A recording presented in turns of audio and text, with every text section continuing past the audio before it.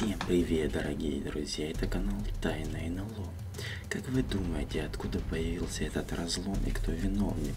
Я уже говорил, что Земля уже начинает свои маленькие, но необычные действия, а именно уничтожается. Посмотрите внимательно, что природа делает за собой. Раздражение того или иного или что-то просыпается. Вы видели, как необычное, яркое и очень странно улетела в небо. Это НЛО, который находится под землей. Группа военных хотели посмотреть, но ужаснулись, когда увидели этот необычный НЛО-объект. Подумайте хорошо, что скрывается и почему нас обманывают. Ну а я надеюсь, вам было очень интересно.